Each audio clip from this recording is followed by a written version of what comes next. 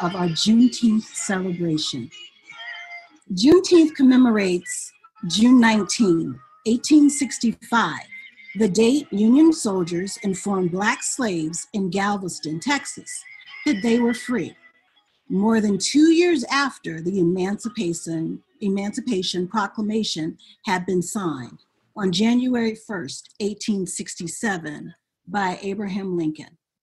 Also known as Freedom Day, Black Fourth of July, Jubilee Day, and Celebration Day. Juneteenth was first celebrated in 1866 and is the oldest commemoration of the ending of slavery in the United States. Today, we recognize the perseverance, determination, and sacrifice it took to achieve emancipation. The Slave Food Team has committed ourselves to providing people with the information that they would need to make better choices regarding their health, which is a form of institutional and systematic oppression when continuing to keep us sick. The slave food presentation is the brainchild of Dr. Columbus Batiste and Dr. Eric Walsh, graduates of Oakwood University. Dr. Batiste is a board certified cardiologist and chief of cardiology in Southern California. Dr. Batiste's mission is to share information so that each one can teach one about the benefits of plant based nutrition, daily exercise, and stress reduction. This mission has led to the formation of a nonprofit organization called the Healthy Heart Nation, which provides education through lectures, newsletters, social, and digital media. Dr. Eric Walsh was born in Hartford, Connecticut. He is a graduate of the University of Miami School of Medicine, Loma Linda University School of Public Health, where he received both his, both his master's and doctorate in public health. Dr. Walsh has embarked on his own plant based journey and as a result has lost more than 70 pounds by adopting this lifestyle. Dr. Walsh has committed his life to speaking around the globe through his preaching and healing ministries. We again thank you for joining the Slave Food webinar in celebration of Juneteenth, and we invite you to listen and enjoy.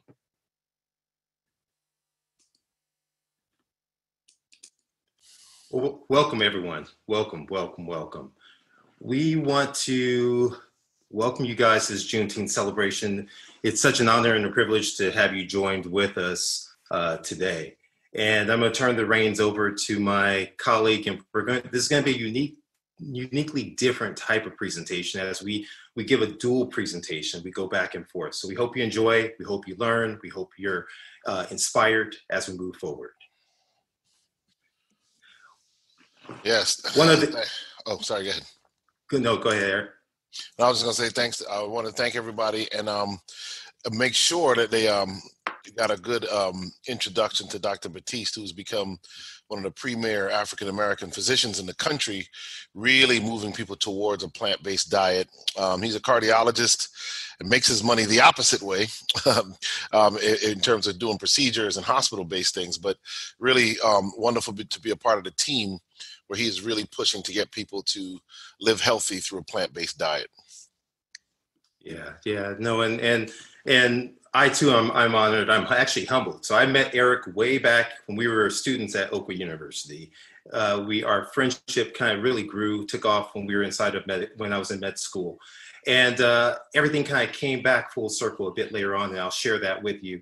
But he's just a phenomenal speaker. I'm I'm always in awe when I listen to him. It's one of those things like the NBA players will say, listen, I love to watch such and such play ball. I love to listen to Dr. Eric Walsh when he speaks. So it's quite an honor. But we're going to jump into this. And so let's go ahead and, and get you all fed this evening.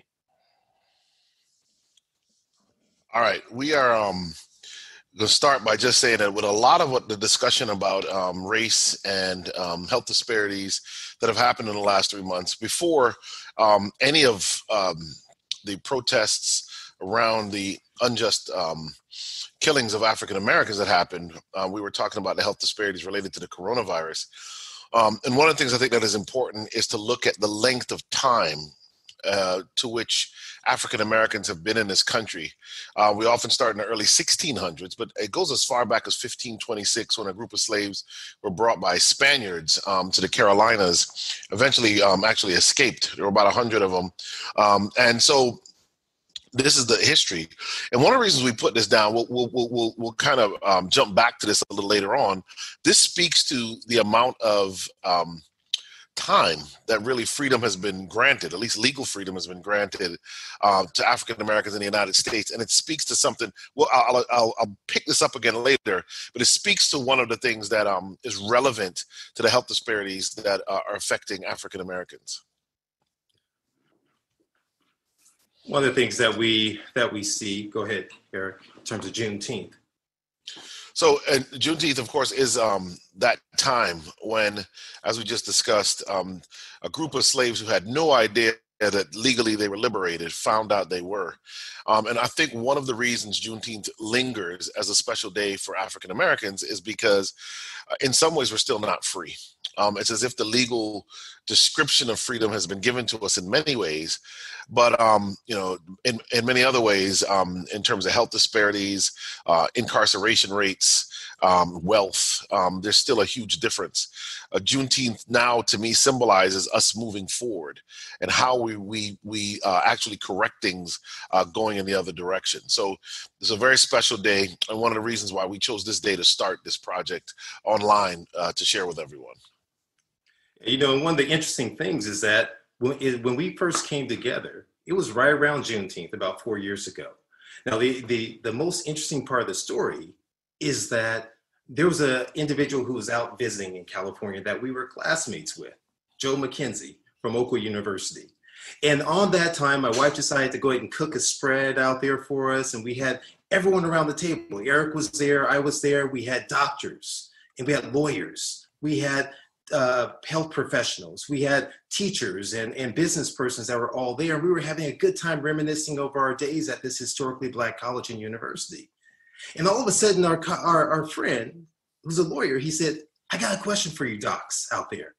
He said, What is the deal with black people? We all kind of stopped and we looked at him and said, What are you talking about?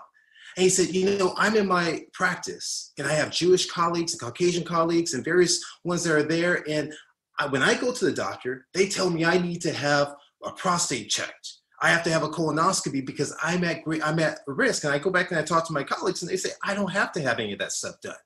And he was like, what's the deal with that? Now, the funny part was, is that right around that time, I too was asked by a colleague sitting inside the Chiefs meeting, and he said, Batiste, what's the deal with Black people? Why is it, man, that you guys get everything? You get diabetes, high blood pressure, high cholesterol, all these things more. And this was really the premise that Dr. Walsh and I started out on is why is it that Black people in America die sicker and sooner than other people? So uh, one of the things we discovered um, years back when I was working in public health um, one of the things that fascinated me is that there is a, a geographic connection between life expectancy um, and groups of people. So we always start with this one in Washington, D.C. And if you started out at the Capitol Heights train station and went all the way out into Maryland um, uh, on the train, uh, for every mile and a half you travel, life expectancy decreases by about a year. And you can see when you look at this that if you look at it, um, you know, it, it, when you get all the way out into Maryland, it's 81.3 years. Uh, for 30 miles, it's a nine-year life uh, span disparity. If you look at the 72-year life expectancy inside the city, and and what, what's interesting is it's you should never have to worry um, that that um, that your life expectancy is tied to to your geography and that's what you can see here um, for this first one that's capitol heights the next one will show you um, what it looks like um, when you go out to the to to out to Maryland, um, and you can see out here at the Shady Grove station. There's a there's a you know this study was like 20 years difference at, the time when this one was done. The point is, you're you know our zip code shouldn't be what determines life expectancy, but in America it is. Um, often more so your zip code than your genetic code. Um, and so part of what we're looking at is how do we match this? And what we found is that if you go around the country, you find the same thing. This is Atlanta, and you can see 84 years life expectancy at the top of this map, um, and as low as 71 years um, in the southwest portion. Um, 13 year difference just just in Atlanta, and that's huge. Um, obviously, um, as as an average life expectancy difference. Detroit similar, um, 69 years in one zip code, um, and all the way out uh, to 82 years in another one. Um, and as we go through these cities, Chicago uh, has a huge 85 years compared to 69 years. I think this one is the largest gap um, that you that you can find. 16 years.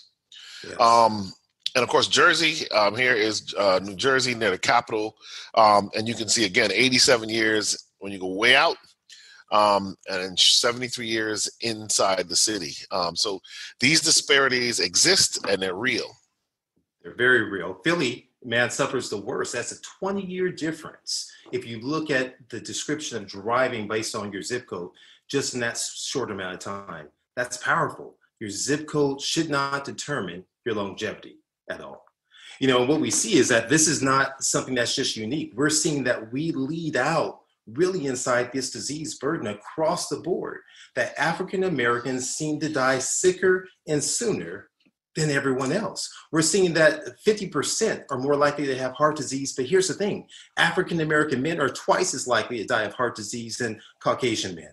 African American women are three times as likely to die of heart disease compared to Caucasian women. We know that in individuals who suffer with high blood pressure, if you're African American, you're more likely to be diagnosed with high blood pressure, but you're less likely to have your be treated well, right? You're less likely to have your blood pressure optimized. So that means you know about it, but either you choose not to be on meds, you know about it and you're on meds, but they are not optimal, or you know about and you're on meds. Uh, so there's there's a problem, and we're seeing that this is prevalent at every age You're more likely to die sicker and sooner across the board in the 20s to 30s, 30s to 40s, 40s to 50s, and 60s and above is what we see.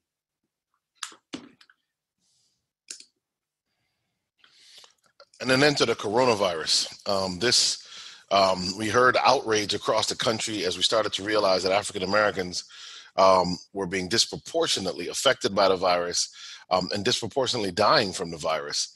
Um, but the truth of the matter is, nothing we saw with the coronavirus didn't exist in a sense in the health disparities that predisposed individuals to these um, to, to, to significant illness or death from this virus.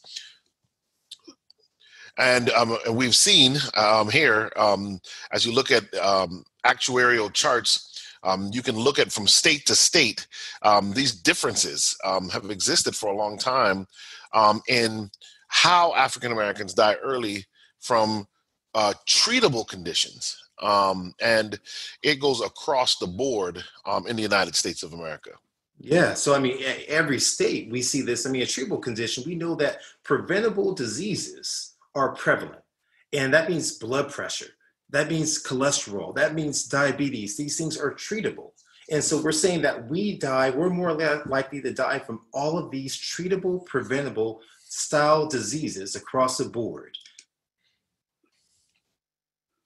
So when we, we put a, put some studies together, we, we we've been we've been showing this uh, for a while, and it just shows that back in 1990, Otten and his group of researchers um, showed um, that the, the, the, reported death rates were per 100,000 for people. Remember, this is for people 35 to 54 years of age.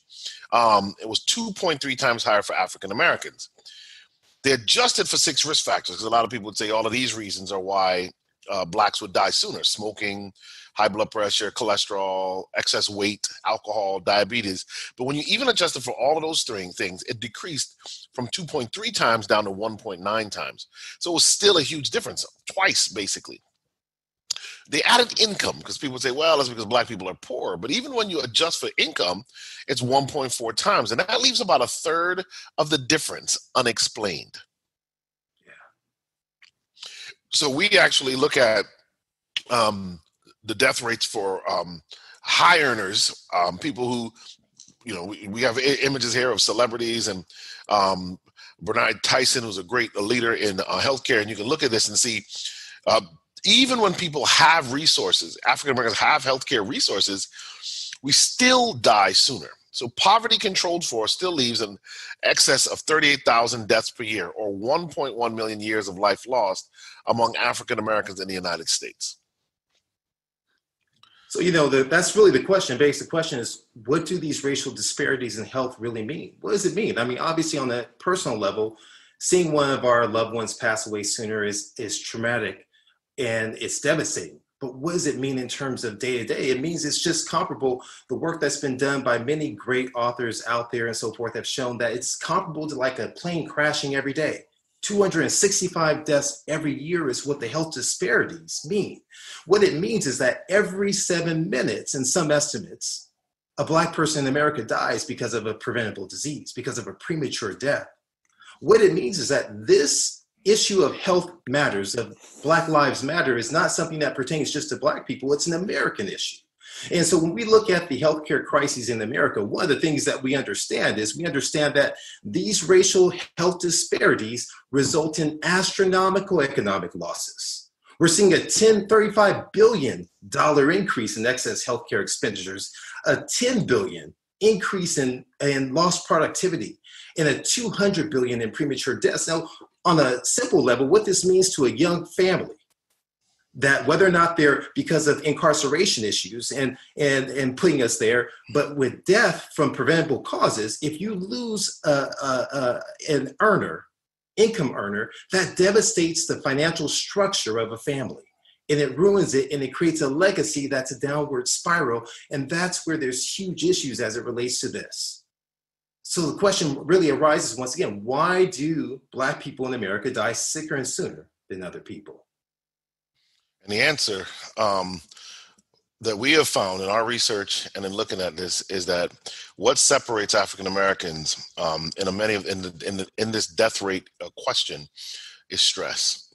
Um, and we're going to talk about stress for a little while and show that in fact it is what is uniquely um, attributable to to this situation. So stress, we have a definition of stress here. Stress is a condition or feeling experienced when a person perceives that demands exceed the personal and social resources the individual is able to mobilize. That's stress. We break this down into an equation, which is the stress equals demands minus resources. And here's what you have to get um, the more resources you have, the more you're able to mitigate stress. Um, and the more demands placed on you, the worse your stress is going to be. So African Americans often don't have as many resources. And here's the thing even if you're wealthy, you often don't have the same amount of resources and often have uh, some unique demands placed on you.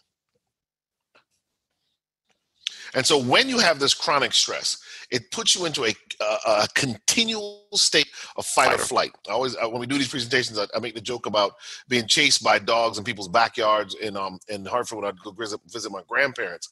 Um, and you know, you see that dog. I mean, and all of a sudden, your adrenaline gets pumped, your cortisol gets pumped, your your, your blood pressure goes up. You need to get blood to your brain. Your heart rate increases. Your your respiratory rate increases. Blood is shunted away from your um, your digestive tract to your muscles um, your liver starts to make sugar through gluconeogenesis. Um, you, you, you, massive releases of insulin to get sugar into into your muscles and so all of these things happen but if they if if every day it's the equivalent that you're being chased by a dog if you're constantly stressed all of those normal physiological, really allostatic is the technical term, changes. What it eventually happens is they begin to they go from being allostatic um, uh, and to eventually causing disease themselves. Um, and that really is the problem. Allostasis will cause disease. And so um, this is where you start to become more prone to getting high blood pressure and diabetes and other things because you are in a constant state of stress. And when you eat bad foods it actually makes the bad food even worse for you. Yeah, yeah, you know, and that's one of the things I oftentimes tell patients is that, and I think you mentioned it, it's like when you're stressed, your pupils change. When you're stressed, your blood vessels actually crimp down to force the blood, the, the blood through the vessels more vigorously, creating a hypertensive state. right? Your blood, your your liver and the pancreas begin to mobilize the the the glucose, allowing the, uh, a pseudo diabetic state, and those are the components that you're really kind of speaking to that are there. So, chronic exposure to stress, poor social supports, and limited social networks have been shown to increase disease risk. Um, so, these, this makes sense. All of these things uh, exist in our communities in many ways. Um, regardless of how much money you make, you can be quite lonely on the job as the only black professional or the only black student in the class.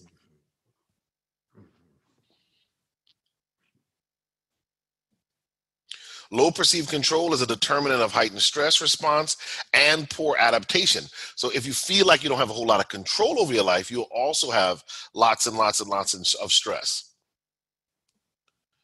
And then adversity and feeling vulnerable, along with psychological markers such as low self esteem and loneliness, are also associated with poor health outcomes. And I want you guys to get this. In a situation in a society where you are constantly being told that your kinky hair is not beautiful, your wide nose is not beautiful, your dark skin is not beautiful, um, when you're constantly be given examples of beauty that don't look like you, as has happened ever since 1526, what happens is you ha- your own self-esteem is impacted and it decreases um, and this alone will constantly increase your stress when you inherently think you're not attractive, you're not beautiful. Um, and so this is again a unique stressor for African Americans being uh, black in this country.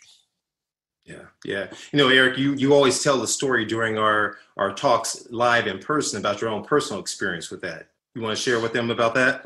Yeah, one of the stories I always tell is that I had a, a relative who basically um, who who uh, said to me once, you know, I was I was in the kitchen getting something when I was like 15 years of age, um, and she said, you know, you would be so handsome if you weren't so dark, mm-hmm. um, and uh, you know that that that impacted me um, because I could there's nothing I could do about that.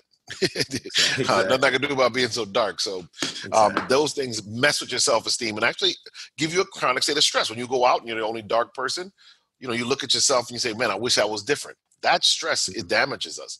So racism is a statement about a person's value, and resources most often go where value is perceived. So when we talk about stress equals demands minus resources, you can look at this statement and realize that in hmm. fact, when racism is a part of a society, as many people are having this epiphany now about systematic racism and all this stuff, which, um, you know, for many people, you just kind of learned how to live with it. That's what my, my mother described. You, you find a way to live with it and to thrive despite it. Um, but resources go where we think things are valuable. Um, and that's one of the challenges the Black community faces. Absolutely.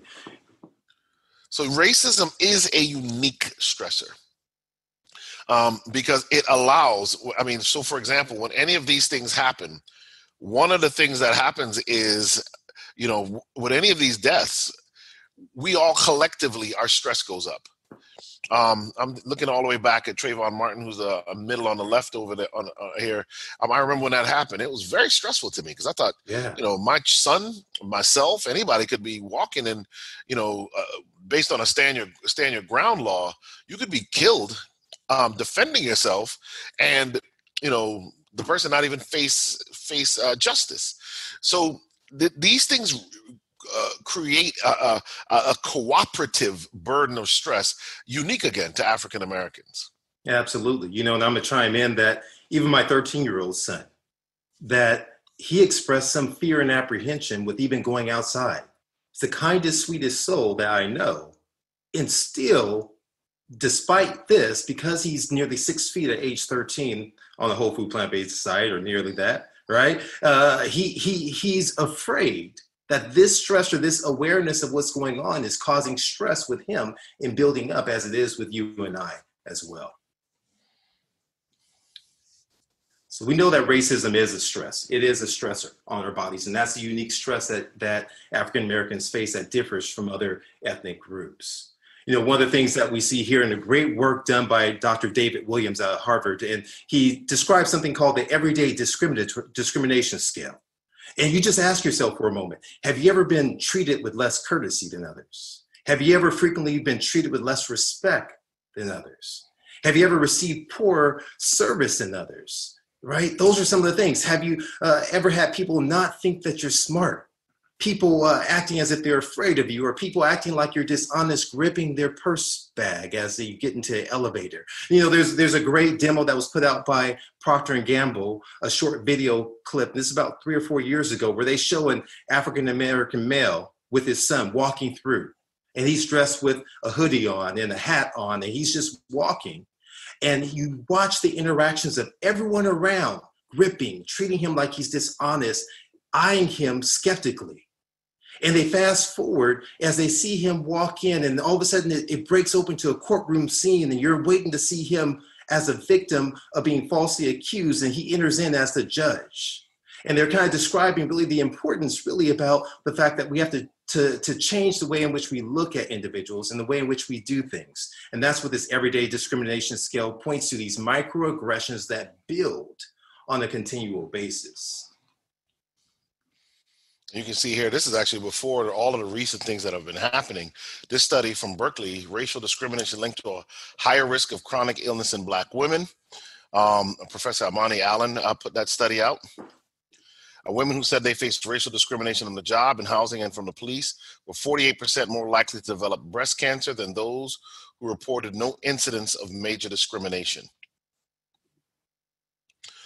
Another study of African American women found that those who reported chronic emotional stress due to their experience of racism had more severely blocked carotid arteries. I mean, you're looking at cancer, heart disease, top two killers in this country, um, and we're finding that that that um, uh, the racism, real or perceived, uh, literally acts uh, synergistically um, with other factors to make things worse. Mm-hmm.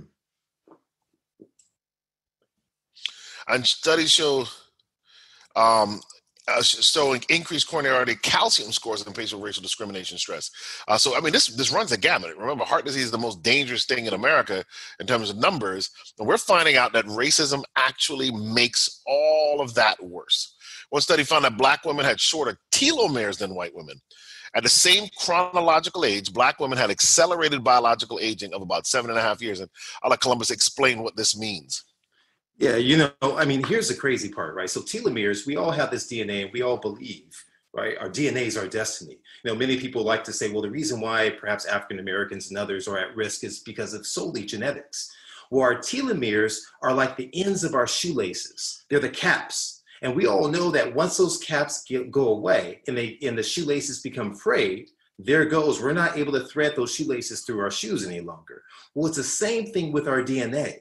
The DNA, as those caps begin to shrink, there goes our age. And so, what it's telling us is that although we love the statement that, you know, uh, black don't crack and that you look great and you can see an African American woman in her 70s and she looks like she's in her 40s, we're cracking on the inside and there's issues that are happening on the inside. I went to Australia and was fortunate enough. I love Australia.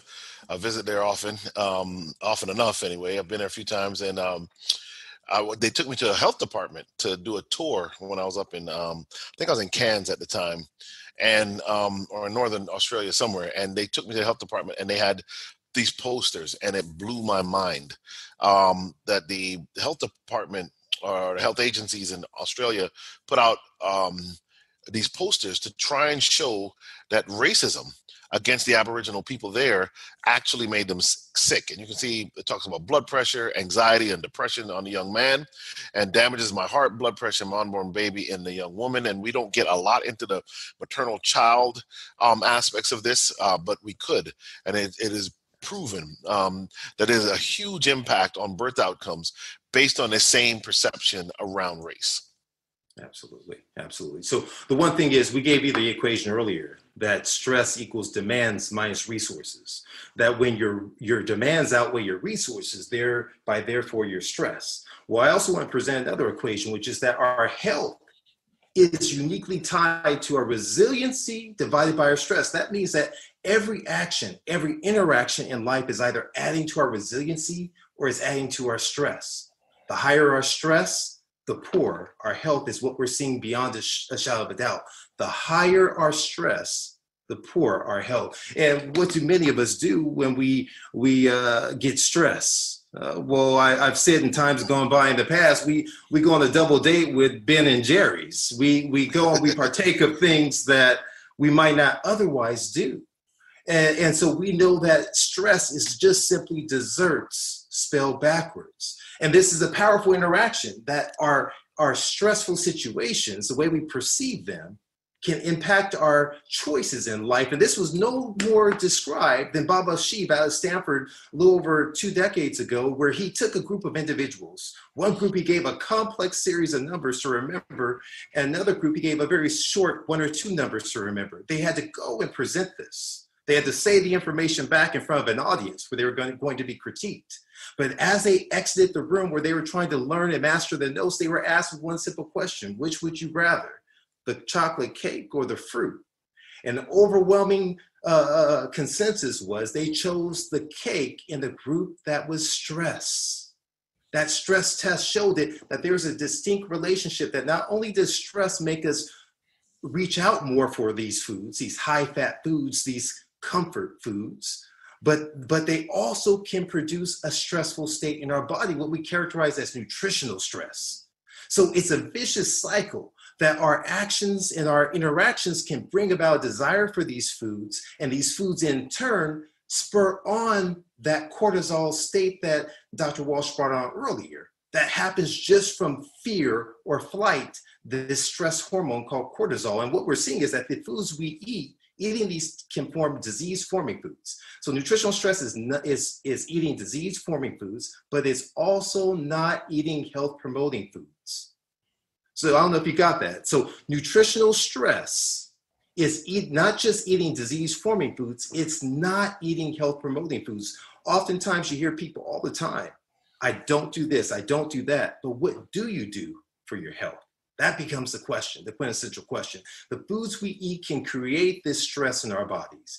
And there's a great study that was done. There were several small studies that were done. And what they did was they characterized the amount of cortisol levels in the body when looking at people who partook of a, a, high animal fat, low carbohydrate diet compared to those who are eating a low fat diet or low animal protein diet in a high carbohydrate, complex carbohydrate diet. And they found that the, the spectrums diverged. They saw a marked increase in, in cortisol levels for those eating animal products and a drop, a decline in those eating the uh, plant-rich proteins. Now, here's the thing we know that the higher the stress hormone levels called cortisol are, the more you're likely to have increased mortality, more cardiovascular death.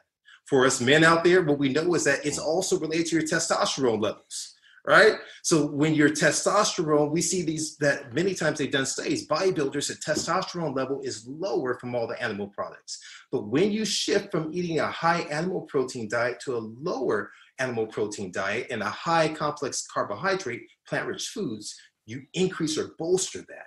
So there's power that's there. So that's one avenue in which these foods we eat can really contribute to stress in our bodies, uh, almost a one to one of stress hormone relationship, but they also create this thing called oxidative stress. Now, this oxidative stress and advanced glycated end products, these are things, these technical terms, real simply, it's just like an apple decaying. I'm gonna give you a hint. When you have berries, they don't turn brown. When you have a banana, you cut it, or an apple, they turn brown. That's a process of oxidation. And so, simply put, all it means is that we walk around happy we walk around happy and we're ready to go out. And an example I give a lot of times, I go out in, in the community, and if I go out and I leave home, or I came out from my historically black college and university ready to tackle the world, and I'm sheltered in my home or an institution, I go out and now someone looks at me different. They come in and they take away my joy. These are the free radicals they take it away. and They snatch this, my confidence, through microaggressions, assuming I'm less smart, assuming that I there's nothing wrong with it, but being a janitor as opposed to a physician. These are the free radicals that are taking things away. And so when we look in terms of this, antioxidants are the foods and the power that's stored in plant-rich foods that donate back these atoms to the to the atoms so they can remain healthy. And so when you have these antioxidants pouring through your system, you're able to offset the impact of, of bad food, of toxins, of these things that were in this constant struggle against disease becomes important. You know, but many of us think, man, I'm not eating that kind of food. I don't eat. That's not our people's food. They think that that that their legacy, that their heritage is different than what we tell them in terms of plant-rich foods. They think their that soul food is their legacy. And and what we want to let folks know is that we have a different legacy. That if we go back further in time and we start to do that DNA testing, uh, and we start to go in and figure out where our legacy really truly comes from, we're going to find that it comes from a land rich in fruits and vegetables and root tubers and things of that nature is what we're going to see. So in a trip, I was able to go to Ghana um, and um, spoke at the University of Ghana in Legon and went out to the Ashanti Kingdom and was able to visit some of the markets. And I can tell you, uh, when you go to Africa, what people tell you is that you know the image we've been given in America since we were children is the idea that Africans are starving, that they don't have food, when in fact uh, the richest super greens in the world are in Africa, and the variety of foods, plant-based foods, fruits, vegetables, is just absolutely incredible. Um, and our real legacy goes back before slavery. You get here. Here's the, the you look at the rise of Africa super super vegetables. Um, agriculture researchers and nutrition experts argue that indigenous vegetable, vegetables are richer in protein, vitamins, iron, and other nutrients than non-indigenous foods. Africa probably has the richest food, just like they have all of the metal and the gold. They got all the nutrients, uh, more nutrients in the food as well. Um, so um, when you look at this one, we we talk about the, um, the change in food. So, you know, we just meant we talked about uh, antioxidants a second ago, and how the in order to protect itself, the plant when it gets hit by sunlight has these antioxidants to protect itself. That when we eat it, we get it. That's what we had in Africa. But once we um, uh, were turned into a commodity, that all switched. And this is really critical to understand uh, in order to um, control slaves, food became weaponized in a sense. Um, so this says food was an important element of the process of turning, turning humans into com- commodities. The rations were scientifically calculated, and their science wasn't the best science on a slave ship. Uh, rations were scientifically calculated to provide the cheapest minimal nutrition to keep enslaved people alive. If the slave ship captain needed was trying to figure out a way to make extra uh, profit, he would often skimp on food for the slaves. Um, and so it was a harrowing journey across the Middle Passage from West Africa to the Americas because you were nutritionally deprived by the time you arrived. Um, so once Africa, once Africans got to the New World, um, Africans adapted their cultures uh, to the influences, resources, and severe restrictions they experienced in slavery. Slaves were often is- often were issued what was considered to be the lesser cuts of the hog, such as the feet, the head, the ribs, the fat back, or the internal organs. And uh, and let me say this: a lot of what we described as as soul food today was really slave food. It was the food that the master didn't want. It was the feet of the chicken, the neck of the chicken, the chitlin, the guts of a pig. Um, it was um, uh, pig's feet and all of those different things. And all of that was given to the slaves to eat. The slaves figured out a way to try and make all of that stuff taste good, but it was never really meant for human consumption. It's the worst part of an animal. Um, and that is quintessentially how much of what we now call soul food really evolved out of slave food. Absolutely, absolutely. You know, I made I made the mistake. I'll call it a mistake, and I listened to the old slave tapes. I don't know if you've ever listened to those and the recordings that were done in the early 20th century of, of the re- remaining slaves who were alive as they described really some of the atrocities that they went through in their own words and their own voices. And it's available on YouTube, uh, just Googling that. And you listen to just the, the impact of the way in which they were fed in troughs as if they were animals and were given wooden spoons and were allowed and just had to go and fight. And this is out of their own words. It's just powerful and it's unfortunate. So Frederick Douglass, a great um, uh, leader um, uh, uh, during the abolitionist times, um, just a phenomenal, phenomenal leader. Frederick Douglass recounted that rations consisted of a monthly allowance of a bushel of third-rate corn, pickled pork, which was often tainted, and poorest quality herrings, barely enough to sustain grown men and women through their back-breaking labors in the field don't miss this. Slave food during slavery was designed It was designed to give you enough strength to work, but not enough strength to fight. Enough strength to go out and pick cotton, but not enough to pick up arms and try and free yourself or to run uh, to the north. Um, it was designed that way um, to keep costs down for the master, but also to keep strength away from the slave.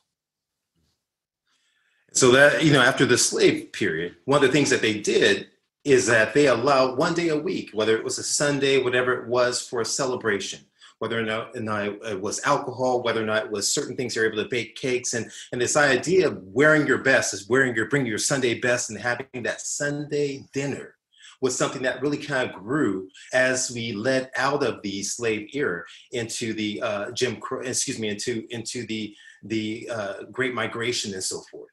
And what we saw during this time through, through the Great Migration is that African Americans, for those who don't know, they spread. So my folks are from Louisiana. And my folks kind of spread out to California. There are others who went from different states to Chicago and to New York and to Florida and various areas in order to escape the Jim Crow and the suppression that was there. But one of the things that they met, they they they uh, found out when they got there after leaving the war, fighting for the nation and so forth, is they found that there were tons of restrictions placed on them. Richard Rothstein identifies this very eloquently inside of his book, The Color of Law, and looking at the restrictions to even the GI Bill, looking at the restrictions in where you could move or live despite your income in that period of time. As a result of this systemic racism, this de jure racism, this de jure uh, legislation, right? African Americans were prevented from buying homes in certain areas, which prevented them from having school and education, which prevented them as a whole of having that generational wealth that becomes important right? And so these were some of the things that that progressed and as a result of it our living quarters were not as ideal. We we moved from areas in the farms where even going back to the slave times although we were given the cast out some showed resiliency in being able to plant small gardens and, and certain wild things dandelions and various things in order to kind of grow to supplement themselves. When they moved into the city they were no longer able to do that. They were forced to boil or, or fry their foods. They were forced to be an early adopter of fast food. Inside these major cities, African American studies have shown were early adopters of Chinese, Italian, Tex Mex far before the mainstream public. That they revealed these lack of kitchen facilities, as I mentioned, led to the increased use of quick frying and boiling methods on the run because they shared kitchen sources. This is what led to our, our this mindset of eating the way that we did. And as things progress and progress, as we entered into this Jim Crow era, we weren't allowed to go inside of restaurants. You were given your, your lunch on the side window. So we became early adopters of this drive through mentality. Let's go through the drive through and let's get through. And so as the civil rights era came, and thank the Lord it did, and revolution began, and we're still seeing protests happen now that out that rising from the ashes. And and there's a great author i'm to point to in just a moment. But richard nixon they began to to allow small business association loans to revitalize these areas. They said we want to bring business back. And one of the, the quotes from the book i will share is that richard nixon said any act of racism is an act of communism. And so he said, I want to go ahead and give build businesses and we'll put things back up here. And so what did they put? They put in businesses with the highest profit margin. They put in quick serve restaurants, fast food restaurants. They put in liquor stores. And what got shoved out? Grocery stores because of the, yep. the profit margins being small. And so essentially what they did was they created a supersizing of urban America, this book, wonderful book by Dr. Chin Jou, a little side uh, commercial. She'll be joining us next week for one of our conversations. We'll discuss that a bit further uh, at the end. But supersizing urban America, of how inner cities got fast food with government help. Powerful book, powerful book, creating weapons of mass destruction. I want to jump back in and, and, and just go back and, and, and remind everyone. So when you start um, at the, from the time of the Great Migration, into the Second World War, as the GIs came back um, and the baby boomer generation was being um, introduced into the world, wealth flooded into America. But because of the redlining, we didn't get that wealth. 20 years later, as we fought for more legal rights and the riots happened, the answer now was to flood the neighborhood again with money. Or flood America again with money, especially those neighborhoods.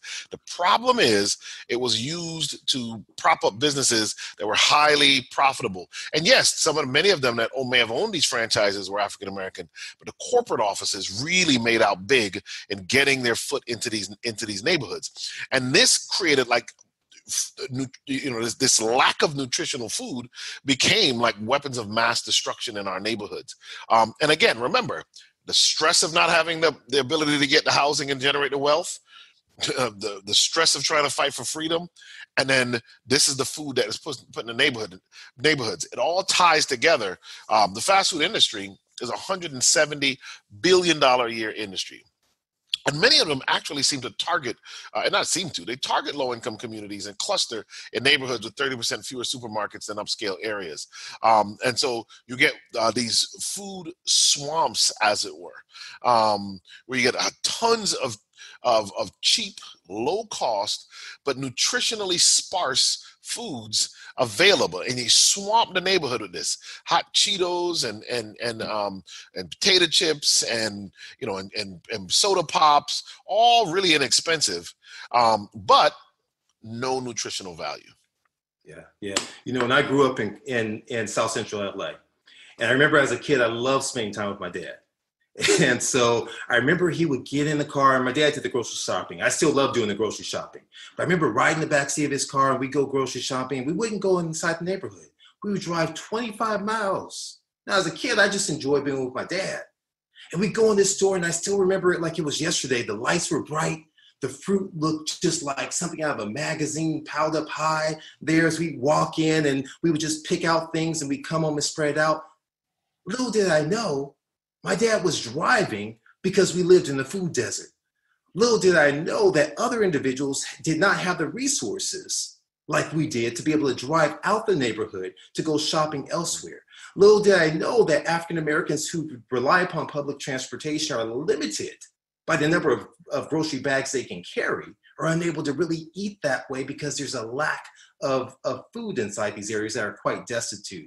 And so it's it's unfortunate what's there. And, and, and as a result of this, we see that this fast food and this brand recognition, we see who are the highest consumers of fast food? African American women. Mm-hmm. 43% of African American women partake of fast food, quick service food. And, and I want to let you know fast food isn't just something through a quick serve restaurant, it's also fast food from a grocery store. It's also fast food things that melt in your mouth, not in your hands. That are highly ultra palatable are the things that happen there. And we know that when you live near these fast food restaurants, which seem to target communities of color, that target communities that are underserved, it is definitively linked to heart attacks. We see an increased level of heart attacks occur inside these neighborhoods. And one of the things we know is that um, a lot of the advertising actually targets um, Black youth. Um, so food companies disproportionately target advertising for many of their least nutritious brands to, directly to Black consumers. Money spent to advertise on Black targeted TV channels. Um, 135 million from the fast food, um, uh, other restaurants like that, candy, sugary drinks, and snacks. Uh, 2 million uh, yogurt and 100% juice zero percent plain water, fruits and vets and vegetables. No money at all there. Um, it's targeted uh, because um, for a lot of reasons, uh, especially when you consider the stress levels, um, we become high consumers of these products. Absolutely. And here's one of the things. Here's the part. So we know that advertisements targeted, but we didn't know that we paid for this advertisement. So we didn't know that our tax dollars actually go to something called the dairy checkoff system. And these tax dollars, despite our government telling us that, hey, we should drink, we should ask for water instead of a, a sugar-filled beverage, mm-hmm. that, that we should have smaller portions, that we shouldn't eat a robust amount of cheeses because they're rich in saturated fats, despite that, we actually, the government actually pays for the advertisement of many of these things from our, our favorite fast food places is what we see on a regular basis. And so some studies have shown there's in their magazine, it's a nearly a $5 return for a dollar investment in participating in the dairy checkoff program for these dairy farmers that are there. Not only that, we see that when we look at federally subsidized products, which are tend to be as far as in the, the cheeses and the fats and things of that nature, that when you eat these things, the government tells us that we should eat a robust amount of fruits and vegetables, that we should eat a, a fair amount of whole grains and corn and wheats and oats and things, things of that nature. They tell us that we should have these, but yet on the contrary, when we look, we see that the, mo- the bulk of their, their, their subsidized uh, products go into sugar, it goes into alcohol, it goes into oils, corn oil, and soybeans, things of that nature is predominantly, and very little is spent on fruits and vegetables and whole grains. Lastly, what we know is that when you eat the food that the government, not what they say, you know, there's one thing that always happens. I remember when I was in college, a good friend of mine, Brian Hardy, would always do something. I'd say, Brian, are we going to go and play basketball? And he would shake his head no and say yes. His actions were different than his words and would throw me off. It took me a while to kind of figure it out. And so, in many sense, the government saying something completely different than what they espouse. They say they're, they're, they're supporting and spending dollars towards Right. foods that have adverse effects on us, foods that lead to increased cardiometabolic syndrome among US adults compared to the foods that actually are life savings. Are we And then- eating the foods? Go ahead. And I was going to remember that, that that's tax dollars. So literally, we're That's- paying to fund uh, the production of high fructose corn syrup, soybean oils, um, and other processed foods um, that are detrimental.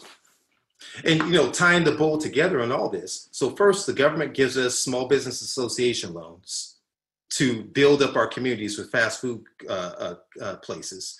Then they give tax dollars to advertise and help develop foods for those fast food agencies, right? And then they subsidize the makers and growers of the food. And so it's a vicious cycle. That's interesting that those are the components of the crucible that leads to increased disease inside of many communities of color. And unlike unlike the, the the cigarette industry, the cigarette industry, the tobacco industry was sued because um, they were dishonest, saying their product wasn't addictive when it clearly was. Um, when they were adding additives to make it more addicting, they were sued and they won. Um, the food industry doesn't do that. The food industry literally says, "Bet you can't eat just one." The food industry says, "Once you pop, you can't stop." Um, and so uh, again these comfort foods and what we know is that there's a there's a there's a we call an unholy trilogy um, of processed three three uh, components two of which at least are very highly processed in many cases and that's sugar fat and salt um, and when you mix these together you can actually make quite an addictive um, uh, combination of foods. And um, I think we'll show a slide here of my, uh, Michael Moss's book, uh, Salt, Sugar, and Fat, here in a second. Um, but um, what we know is that you can actually, the food industry actually designs the food to have this kind of response um, so that they can actually um, get more people to buy their product. I was talking to someone from the food industry this week, and it was like that. What you know, that's what they signed up to do. They want to make money. That's why they do this. It's not because they hate you. It's just this is their business. Um, my question then is where's the ethics in that? If you're literally making a food that people can't stop eating and it's going to lead them to needing medications and you know surgeries and and, and early deaths um where, where where do we where do we stop this? And like for right now is to educate ourselves and to know different. It, literally when you eat food it's not you- you're not just eating something. These foods are designed um, many of them to have the maximum amount of stimulation in your brain. The most addictive food known to man, and, and in multiple uh, surveys and studies I've looked at, is pizza uh, because it's a powerful combination of salt, sugar, and fat. The white crust is just turns into sugar. So white bread, white rice, white floury foods. Um, the cheese is loaded with salt and fat, um, and so when you you mix the marinara sauce, often also has um, sugar. The meat you put on top has plenty of fat and salt. I mean, it is a it is a smorgasbord of all of these things. And what happens now is you get a massive rush. In fact, um, in the book, he describes that when you crunch um, certain foods, like certain chips and stuff, you get this crunch that makes your brain think you're biting into like a fresh apple, when in fact, what's actually happening is you're being tricked. Um, and there's this whole um, disappearing calories component that then the thing melts quickly in your mouth right away and so your brain thinks you didn't you didn't eat anything so you can just keep eating and eating and eating and eating and eating. And there's this bliss point and crunch point that that speaks to the food being more satisfying and more palatable to you. And all of that is designed. Now here's what i want you to get. Just like during slavery the parts of the food that the master didn't want was given to the slaves. I want to submit to you that today a similar thing has happened.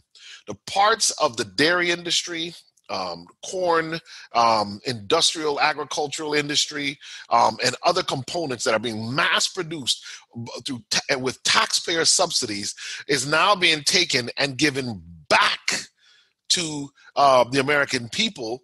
Um, and in our case, disproportionately to African Americans, and it does the same thing. It gives you enough strength to get up and go to work, but not enough strength to really fight for a better life and a better future, not giving the clarity of mind and strength of body to build the best possible life. Absolutely, absolutely, absolutely. It's it, it is a form of slave food.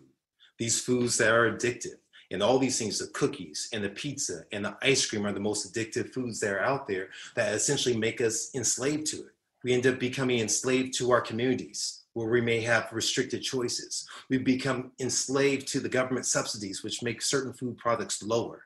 We become enslaved really to this desire of stress and this, this rat race that we involve, we've evolved in. And that's why slave food is the manipulation of nutrition for profit and for power, aimed at communities at risk. Aimed at communities at risk is the key. So how does this work? So we, we, let's go. Let's go a little deeper. So we talked a bit about, and we, and again, this is our overview session. We're going to go deeper into all of this over the next few Friday nights. Um, so you got to stay, um, stay, stay um, tuned in. Um, someone is sending us a message now. Well, how do you break the addiction? We're coming to that. We're coming to that. So uh, the food and beverage industry spends about $2 billion a year marketing to children. The fast food industry spends more than $5 million every day marketing unhealthy foods to children. Nearly all, 98% of the food advertisement viewed by children are for product, products that are high in fat, sugar, or salt, or a combination of the three. Most of that food, 79% of it, has no fiber, which is one of the missing links we'll talk about later on. One study found that when children were exposed to television content with food advertising, they consumed 45% more food than children exposed to content with non-food advertising. So why would you spend millions of dollars on a um on a um on a on a commercial that lasts a minute or 30 seconds or less? Because it works. And that's what this is showing us. Each day, African American children see twice as many calories advertised in fast food commercials as white children. Because again, if you target black channels um, or programming more likely to be watched by blacks, you can actually do this. Um, and so Joe Fuhrman, one of the pioneers in all of this, um, uh, he he really speaks to this. I love this quote. I'm gonna read the quote for you from his book Eat to Live, and he has another phenomenal book, um, Fast Food Genocide, that we would recommend yes. as well. Um, yes. But here it is. It says the modern food and drug industry has converted a significant portion of the world's people to a new religion, a massive cult of pleasure seekers who consume coffee, cigarettes, soft drinks, candy, chocolate, alcohol, processed foods, fast foods, and concentrated dairy fat, cheese, in a self-indulgent orgy of destructive behavior. When that when the inevitable results of such bad habits appear appear, pain, suffering, sickness, and disease, the addicted cult members drag themselves to physicians and demand drugs to alleviate their pain, mask their symptoms, and cure their diseases. These revelers become so drunk on their addictive behavior, behavior and the accompanying addictive thinking that they can no longer tell the difference between health and health care. And I was um I was on a panel this week, um, uh, local panel here in, in the Greater Hartford area, and um, that's one of the things I had to chime in and say. I mean, everybody was access to healthcare, access to healthcare. And I said, but I think access to healthcare is critically important, but it it does not mean health um, and that's one of the things we we try to emphasize. Correct correct. And so you know getting back to michael moss who kind of really breaks down gives us like a bird's eye view of, of like the fly on the wall who's sitting there and peering in to seeing what happens inside of these companies how they target everything from your age group to your gender to your ethnicity. That's why you find when you go into certain grocery stores in certain in certain neighborhoods, you have different products that are up front, different products that are on sale, different things that you can't get in one neighborhood that you can get in another because they are tailored and it's very detailed. It's a business is what he identifies. And, and these three, this, this evil triad of salt, sugar, and fat is so important. And I see it in my daily, daily practice because salt, we know, plays a role in cardiovascular events. Now, many African Americans suffer with something, they have a gene for a salt sensitivity gene, which means that as you partake of salt and sodium, your blood pressure has a tendency to rise a lot higher. And what, so we know that, that one teaspoon equals 2,000 milligrams of sodium. But what's interesting about this slide is that when you move from West Africa all the way through the Caribbean and into the, the States, you find a progressive rise in the occurrence of blood pressure. That in actuality, in West Africa, with the dietary practices there, and this is say from 2001, it showed that there was it's even lower than the levels inside the United States for, for all ethnic groups. And so this study was repeated and it was recently reported in the uh, American Medical Association this past year, looking at the fact that you once again still see this trend occurring, that this salt has a devastating impact on the body. That as we eat these salted foods and we don't pay attention to the sodium per serving size that's there, that it can, it can impact our brain, that we know it can impact the heart, increases the volume going coursing through the blood flow, it can actually damage the lining of the vessels called the endothelium. And in a different lecture, I'll let you know about that's the secret sauce to health, to cardiovascular health. It can impact the kidneys. It can impact too as well all these things independent of your blood pressure. So you may walk around saying, but doc, my blood pressure is good. I can have as much salt as I want. It still does these things independent of your blood pressure is what the studies have shown from uh, Journal of American College of Cardiology. That when we reduce our salt intake, just reducing by one teaspoon a day, we can save over two and a half million lives every single year. It means it's less suffering from heart attacks and from strokes. It's a less of a progression. You know, this is an important area uh, to me because my father-in-law basically died as the ill effects of high blood pressure for years upon years upon years that led to kidney failure one of the things I mentioned, that then ended his life unnecessarily soon. So we see these things happen. We look at sugar, another component. So this is irrespective. A lot of times I'll tell folks, they'll say, but doc, I'm I'm I'm I'm gluten-free. Doc, I'm vegan. Doc, I'm I'm vegetarian. Doc, I'm this, I'm that, or the other. I said the greatest enemy is the standard American diet the standard American diet hails salt, sugar, and fat, and it takes many forms. Mm-hmm. You can be standard American diet vegan style. You can be standard American diet vegetarian style. So the goal is seeing how can we eat foods that can reduce these amounts because we know sugar is addictive. Sugar is addictive that when you eat this sugar, you crave it. I never forget when I was starting out on this journey, and I've never been horrible, but I was, I remember recovering sugarholic. I was a junk foodaholic, is what I was. And I remember going to the grocery store. I had my cart loaded up with all these vegetables and fruits. And in that last moment, I snatched the candy bar and put it on the conveyor belt. I snatched not just one, I snatched two or three of them. And I remember, never forget that checkout clerk looking at me. He said, Doc, he didn't call me Doc. He was like, Man, I thought you were the healthiest person I'd ever seen until I saw you just like the rest of us. I'll never forget that from about 15 years ago. And I know the, the power that this has on us, despite our desire to do something different. I was enslaved to that candy. I was enslaved to it. That it spikes your blood sugar. It's what ends up happening. You get this surge of dopamine, but then it drops instantaneously because now the insulin goes to storage hormone, hormone trying to, to store it. But because of that, now the blood sugar drops and the craving, the vicious cycle just continues on and on.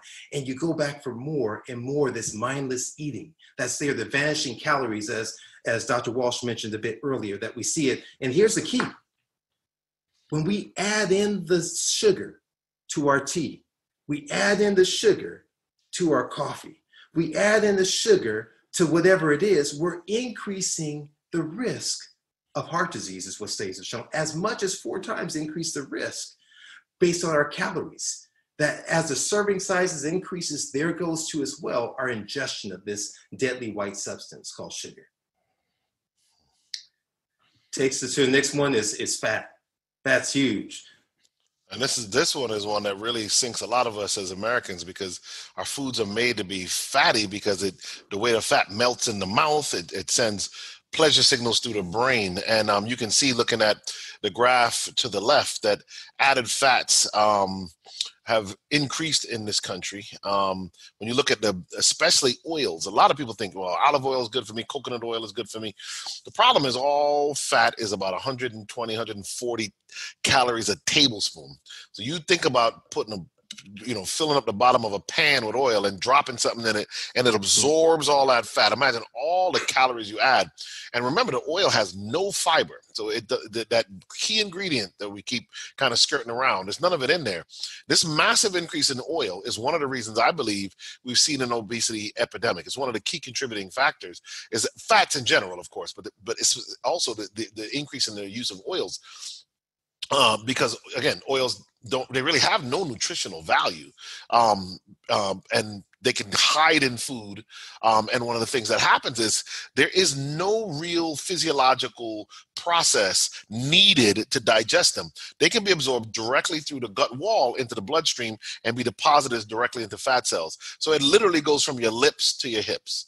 And uh, so fat is unique and oil is unique. Of course when you look at it right here southern food fried foods raise risk of stroke um, a new study shows, and you know that food when you do, all of that oil you bring in, all of it is going to be easily absorbed, um, and along with the salt in the foods, it really causes havoc. Absolutely, and I just don't want I want to highlight something you said, which is the fried foods. When we boil that heat, that oil, we change the moiety of it, the chemical structure of it, and it studies have shown that causes tremendous harm to our bodies, increase the risk of cancer. That when we we high heats to the oil are damaging to our body and to to everything as a whole. We look at TMAO. TMAO is a fancy term. I always kind of give the analogy. That's basically we're more bacterial DNA than we are actually human DNA. That's really the crux of the matter. And what stays, this is a new frontier in medicine. We're finding out that that gut bacteria, that really determines so much. It determines your mental outlook if you're prone towards depression or anxiety or bipolar. It determines whether or not you're prone towards cancer or heart disease or diabetes. It determines all of these things. It even can determine if you're prone towards uh, gaining weight or not. And so, what studies have shown is that this can be stimulated, these gut bacteria, when animal protein is taken in, animal fats, right? That can increase the production of something called trimethylamine oxide that increases the risk of hardening of your vessels, corrosion of your vessels, we call atherosclerosis, leading to stroke and heart attack and to kidney problems too as well. So there's power in our choices as we go about these things. That TMAO is actually inherent uh, as uh, um, uh, you know, as mentioned, I mean, literally comes from the um, creatine in the meat, and it's broken down and comes in, and so you, you hard to avoid it with animal products. Um, and so it's not just the protein side of the animal product. This graph shows you that the fat side of the animal product also eh, they kind of work in conjunction. So uh, on the left, on the y-axis of this graph, is age-adjusted death rate per 100,000 population. On the x-axis, animal fat intake. And as you can see, as you go up in um, animal fat amounts, you go up, it corresponds pretty well as you go up in age adjusted death rate um, due to breast cancer. I want to submit to you that uh, um, it's ironic because I've seen some uh, fried chicken places actually, um, you know, doing the um, breast cancer awareness stuff on their buckets that is crazy because what we what the science is beginning to really show us and I, and really does show us is that that those foods may actually be what causes breast cancer or at least contribute significantly to it uh, in the first place. So we a lot of people ask us about fish. Um, and fish, um, part of the problem uh, uh, we, as we go through this is increased mercury uh, because of what the pollution in the oceans, um, um, increase the risk of heart disease, all of the omega 3 fatty acids everybody wants can be gotten from somewhere else. Uh, we'll talk about that uh, at a later time as well. Um, there are more pollutants um, which concentrate the littler, the smaller fish get eaten by a bigger fish and then it, it, it bio accumulates as you come up the chain. So when you get that big piece of fish and you eat it you get all of that pollutant into you. Even when they farm raise the fish to try and get it away from the pollutants they have to dump tons of antibody antibiotics into that water because the fish are too close and so they can get infections. So you get a lot of um, antibodies. And of course there's higher risk of kidney stones and gout um, related to this. Um, uh, some fish even has higher cholesterol, or some fish, some forms of fish have higher cholesterol levels than even like a, a um, than pork does, which a lot of shocks a lot of mm-hmm. people. Um, so this one here um, just shows you meat consumption, meat consumption yeah. um, by ethnicity. I'll let Columbus talk about this one. Yeah. I mean, just basically inside every category, African Americans tend to lead the charge as it relates to um, the ingestion of animal products, with the exception of beef.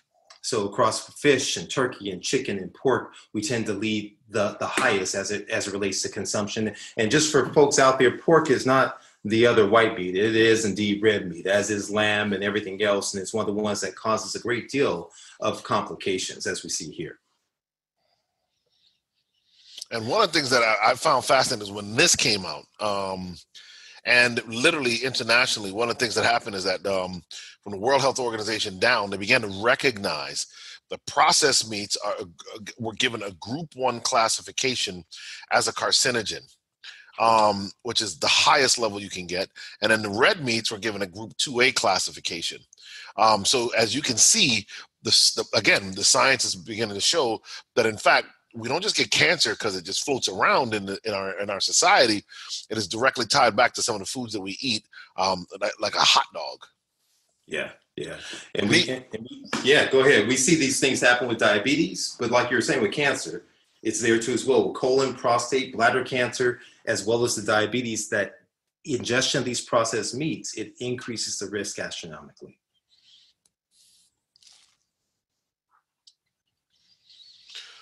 So one of the other tough things. I mean, I grew up um, drinking cow's milk, whole milk. Um, I didn't know you could live without it. I was told, you know, milk it does a body good, and and you know, milk gives you strong teeth and bones, and makes you do all, makes your hair grow, your muscles grow. Everything was good because of milk. Um, and so, increasing rates of childhood overweight and obesity is related to the, to dairy Increased animal protein intake and higher dairy consumption is associated with earlier average menarche. Um, what we found is that the age of, of, of, of the onset of, of, of menses in, in girls has really come down over the years. Uh, exposure to endocrine disrupting chemicals as well. So dairy has some unique um, things that it does um, to really uh, cause problems for the developing child. This study showed um, uh, followed, you know, about 100,000 people, 61,000 men, 45,000 women for more than 20 years um, and 11 years, respectively. Among the women, for each glass of milk consumed, the risk of dying from all causes increased by 15%. Risk of heart disease increased by 15%, and the risk of cancer increased by 7%. For the women who consume three plus glasses of milk per day compared with less than one, the risk of dying increased by 93%. Men had a 10% increased risk of dying when consuming three or more glasses of milk per day compared with less than one glass. We also talk about eggs. I, one of the things that was difficult for me to give up was eggs. Um, I grew up, you know, my grandfather would fry us some eggs on a Sunday morning. And That was like a treat of the whole week um, when I was a kid. And so scrambled eggs, omelets. And I actually, when I was began to really look at this, and I, I, I literally was like praying and saying, well, should I give up eggs? Two studies came across my desk, um, and they are supported in what is here two scientific uh, peer reviewed journal articles. Um, did you know that one egg has the same amount of cholesterol as a Big Mac, with more than 60% of calories from fat? Consuming eggs can also increase the risk of cardiovascular disease by 19%, colon cancer nearly five times, diabetes 68%, and here's the one that scared me as a black man lethal prostate cancer by 81%. Um, knowing how devastating prostate cancer is uh, to black men uh, especially not just Black American men, Jamaican men uh, have high rates as well. Um, that was one of the things that really shocked me and, and caused me to to to, to say, all right, I, I got to leave out eggs. Um, some people say, what about the egg whites? Remember, it is animal protein, that is the problem. Um, uh, and when you when you're looking at um, cancer. Yeah, you know, so it's time we have to have a change of heart. We have to really decide what's important to us and what are we living for. Are we eating to live? Are we living to eat? Is the proverbial question that exists for all of us. Do we believe that Black lives matter, that Black health matters in, in terms of this or not? And we have to have a change of heart. We have to use our nutrition for resiliency instead of stress. Remember that equation. Our health is tied to our resiliency divided by our stress. Every action, the things that we do are either adding to resiliency or adding to our stressors. That we have to focus. It's not just, oftentimes I'll hear, Doc, I don't care about living forever. I don't care about living forever. Well, I agree. That's called our lifespan. There's a beginning and there's an end. Our health span is what I'm talking about. Our goal is to extend that time that you're free of seeing people like me in the hospital and Dr. Walsh. That health span is that time that you're not chained to pills and, and procedures on a regular basis. That health span is the time that allows you to work and enjoy life with your family and vacation and enjoy life. Those are the things that give you the health span. The health span is the time that gives you the energy to fight for change, for social action. And so that's really what we're speaking to is what can we do to contribute to increase our health span recognizing we can't guarantee an extension of, of lifespan. And so what studies have shown, Dean Ornish has done tremendous work. He's one of the forerunners inside of the area of lifestyle medicine. And what he showed is that when individuals adopted a whole food plant-based diet, when they moved towards eating foods rich in fruits and vegetables, nuts and seeds, beans and legumes, that all of a sudden, as well as exercising, giving up smoking, and trying to work on their outlook, they found that their PSA levels starting high dropped down low. And those who continued in the same process, their, their prostate specific antigen levels for men with prostate rose as opposed to going down. That was power there. Not only that, they took the blood from these individuals and it was like superpower blood. This blood was more likely to kill cancerous cells that in individuals who had eaten food products rich in recognizable foods, fiber rich foods, foods filled with vegetables that have singular ingredients like broccoli, like kale, like spinach, like uh, mustard greens, all these things of that nature there compared to the con- control group. He not only did that, but he also took his talents in my area, which is the lifestyle heart trial, and kind of laid out one of the groundbreaking trials. He took the cast offs. Every blue moon, I'll see a patient who has disease that's so extensive, there's nothing we can do. It brings my attention back to a patient we had where he had such bad disease even I was unnervous by treating him medically. I was nervous about trying something. And he said, Doc, I don't want anything. I'll do whatever you said. And I want to tell you that he decided that he would go ahead and transform his diet, and he did well. So this was comparable to Dean Ornish's uh, uh, uh, research. He showed that individuals were able to decrease their angina within a short time period. That means that chest discomfort, that shortness of breath. He showed in a short period of time that they were able to improve blood flow to the vessel, to their heart walls. Those are powerful things of knowing that we can, and there's been subsequent studies to validate this there. Studies out of Loma Linda have shown it's not all or none phenomenon. I tell people this all the time. You don't have to think, oh, I can't do it, it's too hard for me.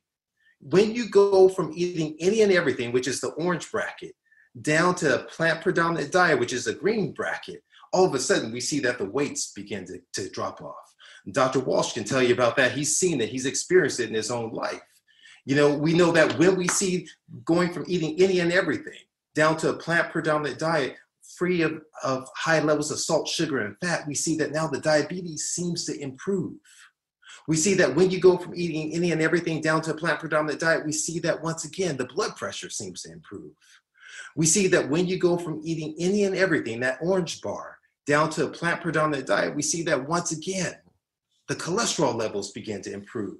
Other studies have shown that other markers of inflammation have shown to improve. C-reactive protein, which is an inflammatory marker of heart disease, dissipates and goes away. I'm gonna tell you that this food can, can send the disease running scared. There's no panacea, there's no cure-all. But what it tells us, it's like kicking a field goal from the five yard line versus the 50. It's like shooting a layup versus shooting a three point shot.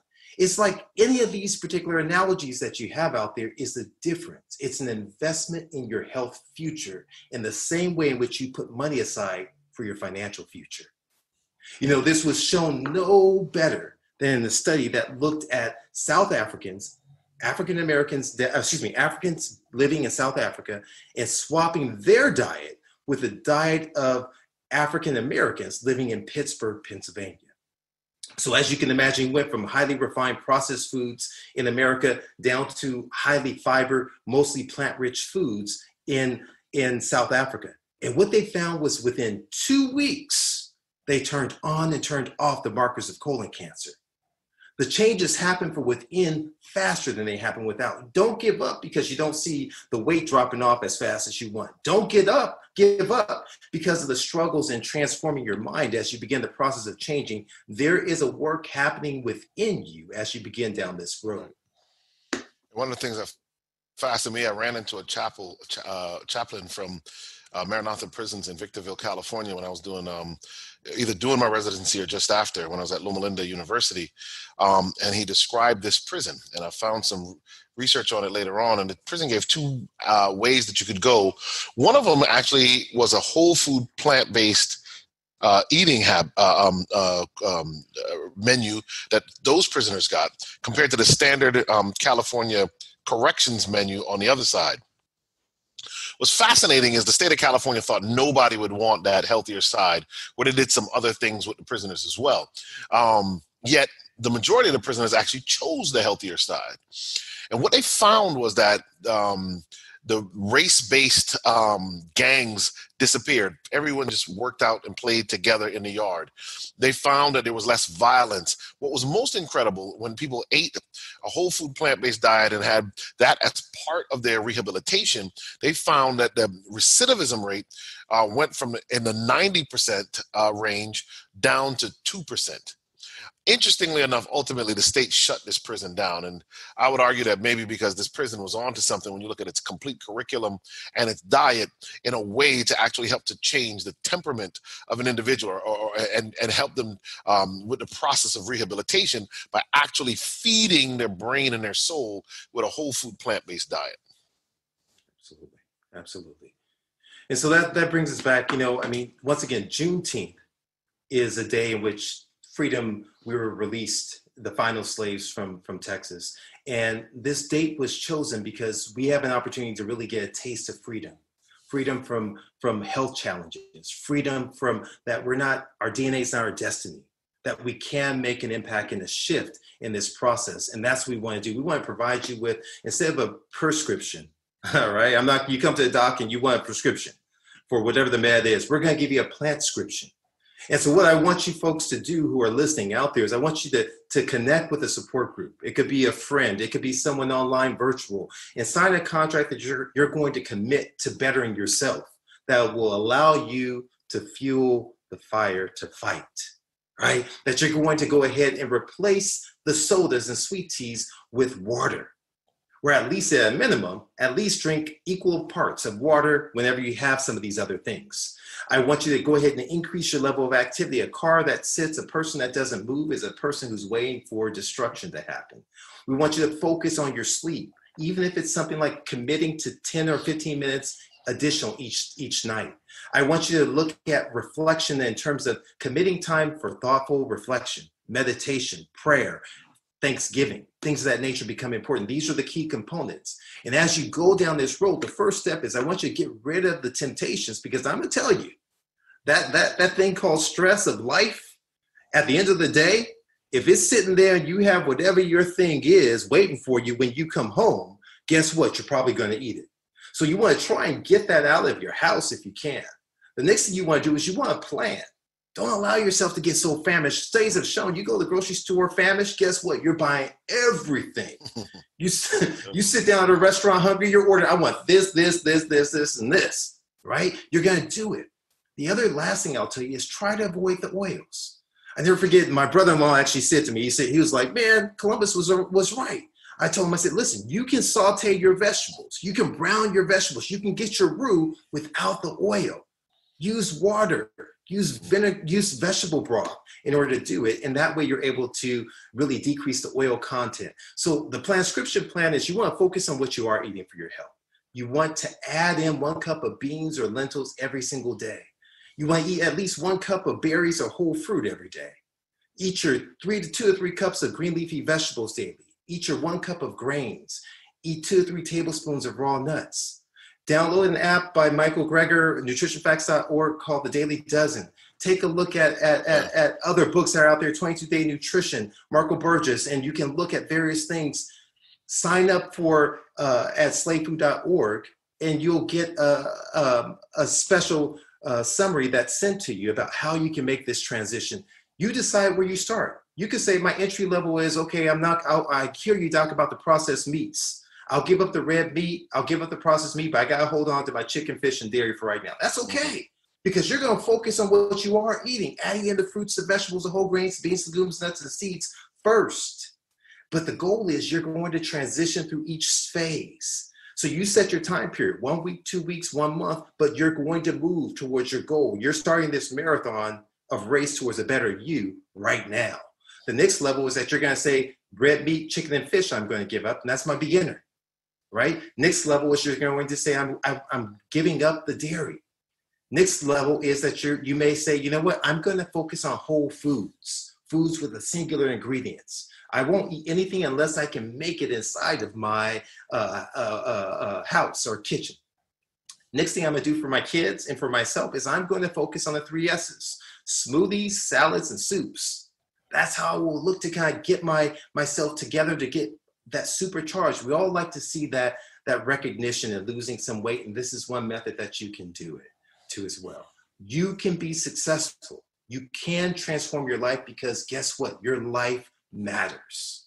The transcription plan, like I mentioned, goal is to advance through each stage. You choose the right stage that's for you. You spend the time that you feel is best for you and yourself. Some people may say, I'm gonna start at advanced because I'm like that. Other people may say, I'm gonna start at, at entry level. You know, you decide, but guess what? It's okay. Don't kick yourself if you relapse, if you go back. It's okay. Avoid the what the heck, what the hell moment say, you know what? I'm still pushing forward. I'm still striving towards a better me every single day. And the, the other thing that's ex- extremely important is choose your eating window. Give your body time to repair itself. Give your body, your stomach time to rest too as well different ideas of what I do on my busy day. You could choose for breakfast. I may start eating at 10 o'clock and finish up by five o'clock. I may choose a green smoothie, then have a salad, sweet potato and chili in the salad there again. I may have tofu scramble. I may have a, a, a cereal bowl of, of whole foods. I may have a bowl. I love the bowl method. You start off and you're going to go ahead and you add to these things. Is what we'll do different ideas. You're going to get your smoothies on with your green leafy vegetables, your fruits. I don't mean the yogurt. I don't mean the ice cream added to it. I'm not saying that with a few kicks of, of fruit. I mean, you want to load this thing up that's going to energize your body. You can have overnight oats. I'll tell you, in my busy day as a as a cardiologist, a lot of times what I'm doing is I buy my rice frozen. I buy canned beans. Yes, canned beans, salt free.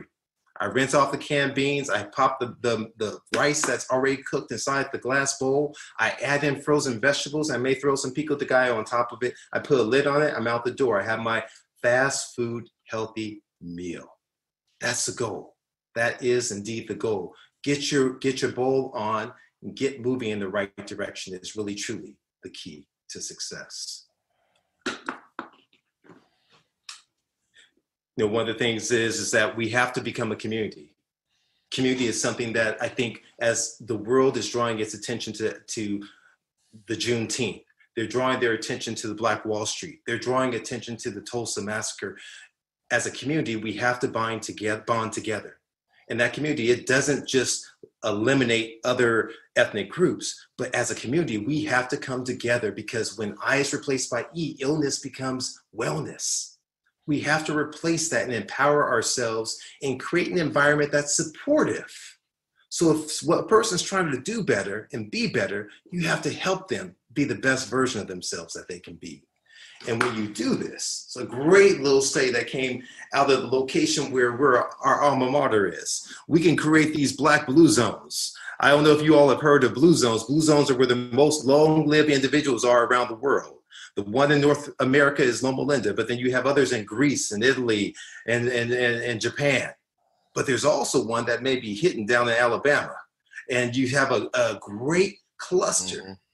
of 90 plus year old individuals who are thriving, who are doing well, who are gardening, who are walking, who are living life well. And that's what ultimately we want is to increase your health span to help you be valuable. I'm gonna turn it over as we finish up to my colleague, Dr. Walsh here. And anything you want to add in?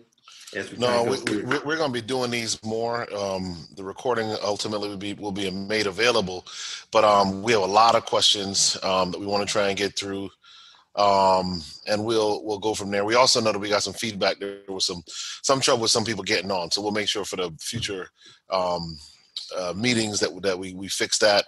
But we will have this recording available, so um, we, you may want to, in case anybody wants to watch it again or send it to others, uh, that will be possible. And we're gonna jump over to uh, Danette and ask her uh, to lead us through the questions um, that came in. Sure, and, um, and thank you very much, doctors, for an excellent presentation. We received about, you know, 20 questions, and so I've, I've kind of the, the ones that we've received um, first. So I know we don't have a lot of time to cover these. Um, and again, as they have mentioned, you can go to slavefood.org to register to receive uh, the transcription plan. Um, and we will be sending that out to those who register on slavefood.org. Um, and we will be providing you with a schedule for the upcoming sessions that we will be holding based on what was shared in the slave food plan. The first question that we had was, um, can you speak on fad diets and vegan food in fast food restaurants?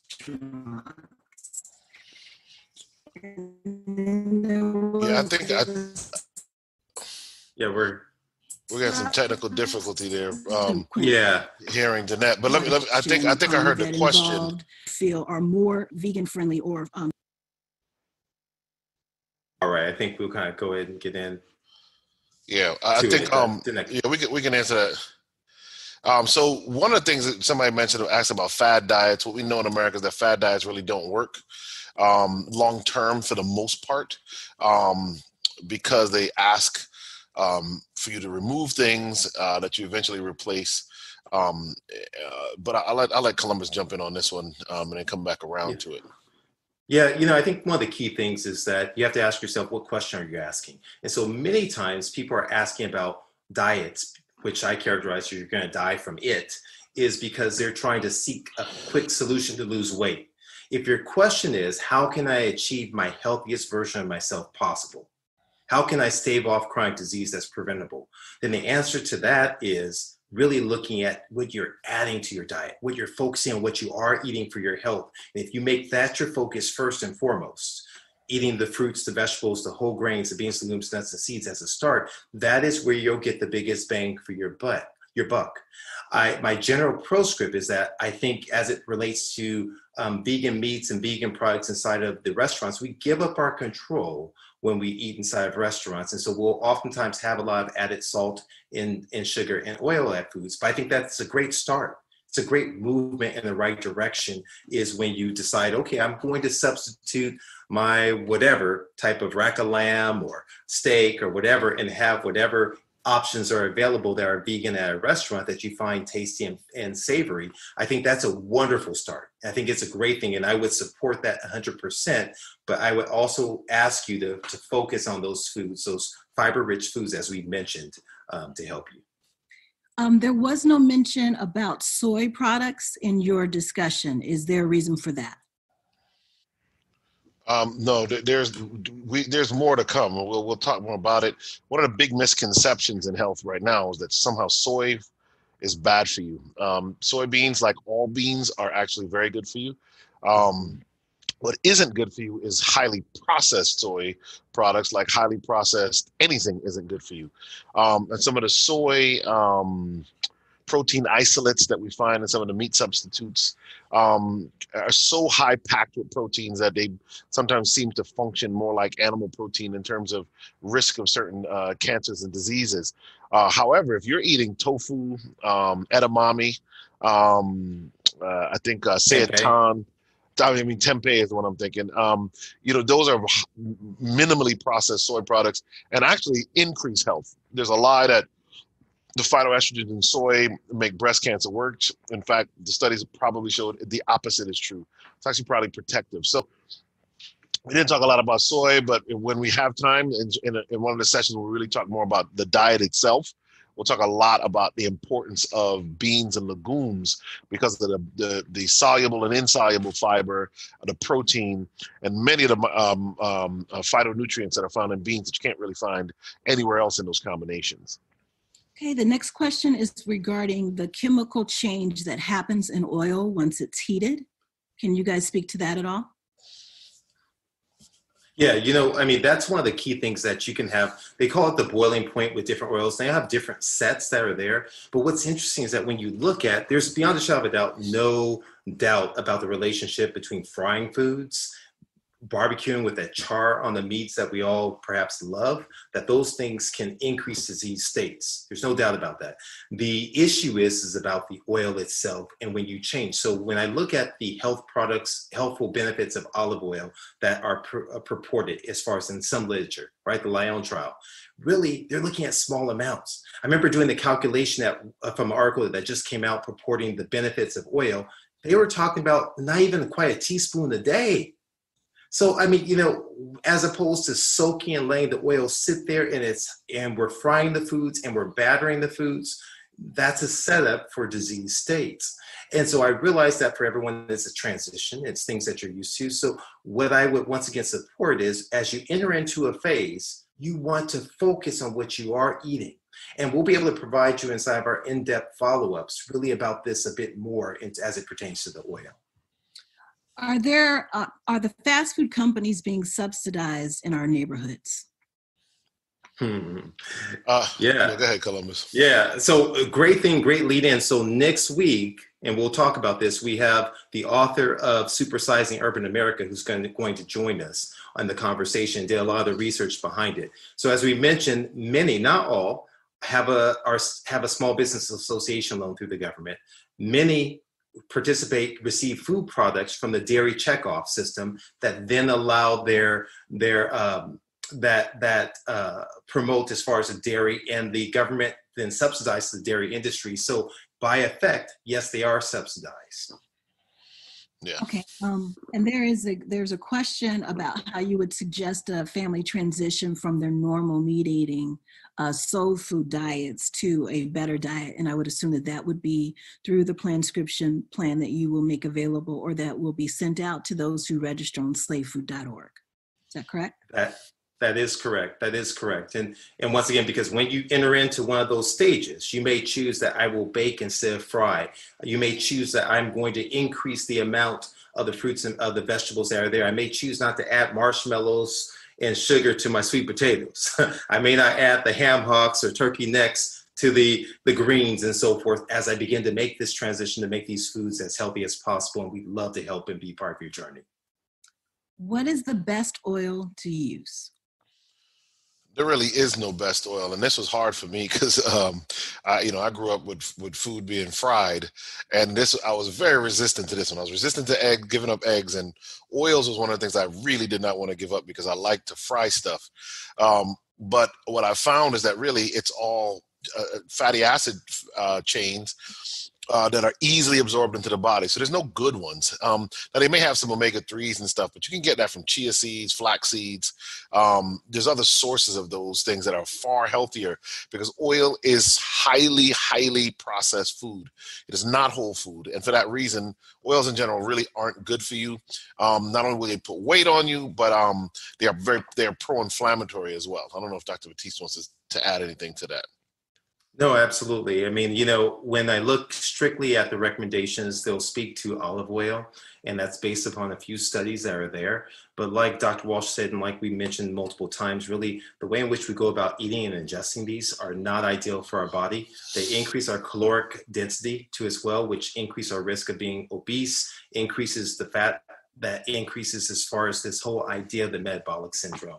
So we have to be careful about about our choices and how we have the food prepared. And I, I do want to just throw in there that one of the ways you can get around this is like air frying. Um, you know, you can that and and I think Dr. Batiste mentioned earlier about um, sautéing with water and um, and um, vegetable broth. Uh, but the air fryer, if you don't add any oil to it, oil's obviously not in it, and you can crisp some things that way. You can buy one and and, and kind of play with it a bit. Mm-hmm. Okay. Um, do you have an answer that dispels chocolate milk and its per, um, and how it is a good thing for recovery after sports? Mhm. Yeah. So the the premise of in terms of of after sports and with milk in general is they're talking really speaking to trying to increase the protein content as well after you lift weights after you participate and replenish the body um, and help the muscles grow. Well what i can tell you is that from a standpoint of of that we can replace that with healthier items because the milk itself in terms of its acidity in terms of its fat content um, have not really been shown to be extremely beneficial for the body long and short term.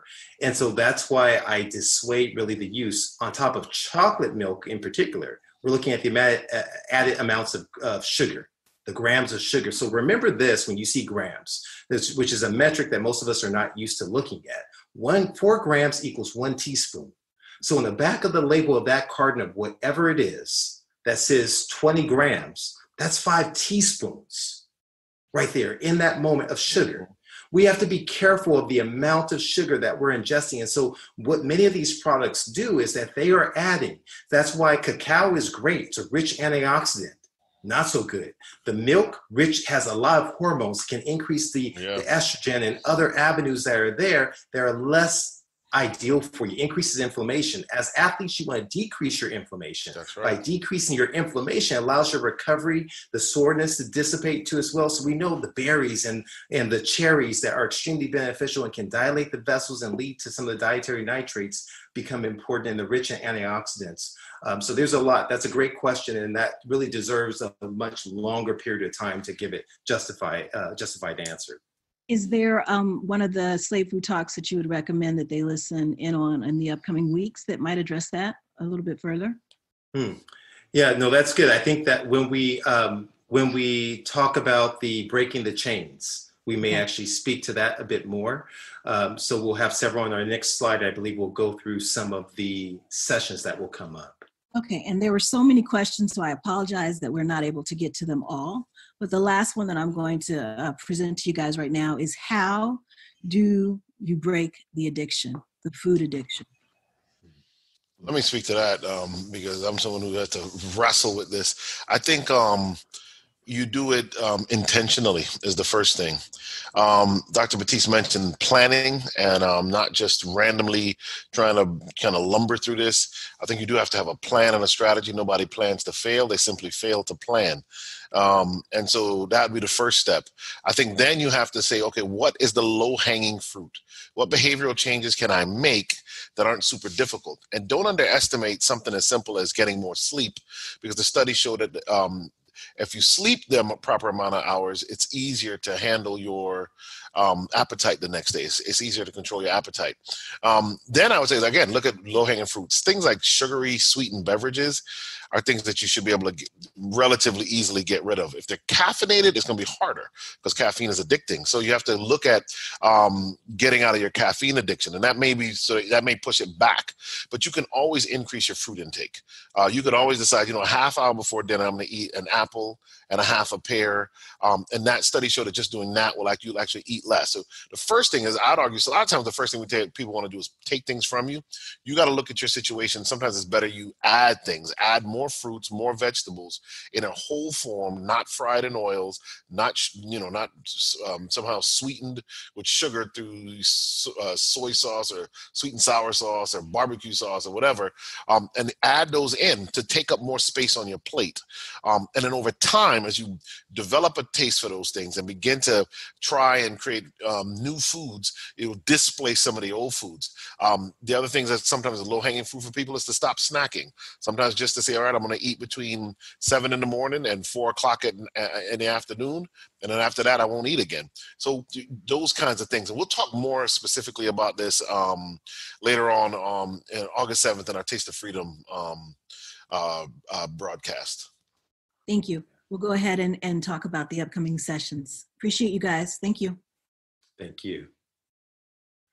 All right, so we have coming up, what we'll be doing is we're going to be having a slave food conversations, little small short panels that we're hoping to bring in different experts in the field in addition to Dr. Walsh and myself. We're starting off with Supersizing Urban America with uh, Dr. Ch- uh, Chin Jou that's coming in. We'll be having uh, guests as it relates to sicker and sooner. It's speaking to the disparities that occur, the stress equation, looking at how the role of stress and really the social issues, social justice, looking at food as chains and, and uh, that have happened, this history of food, this diaspora of evolution of food the way that it is right now, in, infiltrating our, our um, areas, communities too as well. The weaponization of food, looking behind the veil, peeling, peering behind the veil, and looking at how these foods have been really crafted and shifted from recognizable things to things as as as uh, Dr. Walsh says oftentimes that it's so processed even the bacteria don't want it. You know, in that particular instance is what we're looking at, right? And then we're going to transition to breaking the chains of how we can break free of these disease through at the centerpiece our nutrition, but added in by our activity, our mindset, and the various aspects. And then Taste of Freedom, where I know already we've confirmed that none other than the Chef Babette will be joining us to kind of really make discussions about that. We also have another chef who's joining us earlier on in discussion. Um, Dr. Cyn- excuse me, uh, Chef uh, Cynthia Chia Pin is joining us too as well. So we have a number of different people that we're looking forward to having join us in this discussion. You won't want to miss any of those. They're going to be exciting and um, incredibly um, um, um, um, informational. So we look forward to having everybody back on those sessions. All right. It's good seeing you spending your Juneteenth with us. With us, happy Juneteenth, and we look forward to seeing you. If you have not already, I want you to remember to to log in and sign up for slavefood.org, in which you can get notifications I, you can also go to my uh, website, which is healthyheartdoc.org, or follow me on Instagram at, at healthyheartdoc, Twitter, I am Healthy Heart, or follow us back at on Facebook uh, at Slave Food. All right, those are the ways in which you can get in touch with us. But we look forward to seeing you the next time we come back next week, same place, same time. Thanks so much.